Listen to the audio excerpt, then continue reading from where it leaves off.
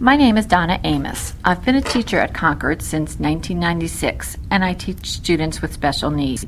As an educator, I know that high school can be a tough place, and at times kids struggle to fit in, especially students with disabilities. My students can be especially vulnerable to bullying and teasing just because they may look or learn differently. The result is stigma, isolation, and injustice. So I was excited to have my students be a part of Special Olympics in unified sports, where my students can enjoy sports together, side by side with regular ed peers. Unified Sports is an inclusive program which combines students with and without disabilities on teams for training and competition. It has been incredible.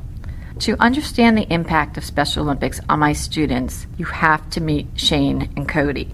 When Shane first came to my class his freshman year, he was nervous and self conscious. He struggled to make friends, and he often looked sad. Last year, we paired Shane with a unified partner, a senior named Cody. Cody was a peer mentor in my class, and he eagerly accepted the challenge of being a part of Special Olympics with Shane. Well, it was better than I thought. It was a match made in heaven. Shane and Cody trained together and competed in Special Olympics unified bowling and basketball. Together, they represented what was possible through Special Olympics.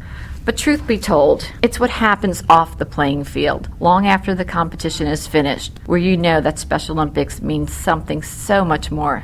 Through their experience, Cody and Shane shared a special bond that carried into the hallways of Concord High School. Their special friendship transformed Shane.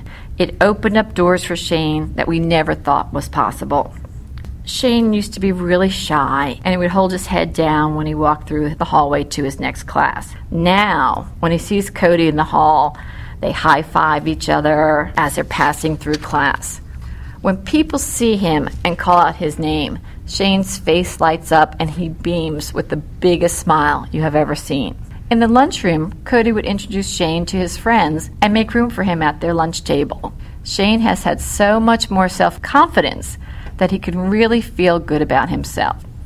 Feeling like a true part of the school and being accepted by your peers, that makes a big difference in anyone's life. For Shane, it has made an enormous difference and has made him a much happier person. As for Cody, being part of Special Olympics taught him some powerful lessons. He learned to understand the challenges that my students face every day. I believe that having the opportunity to be part of Special Olympics can bring students together to really learn from each other. Special Olympics changes attitudes and breaks down the stereotypes that so often exist. Through Special Olympics, the students in my class have a way of being visible and celebrated by our entire school community.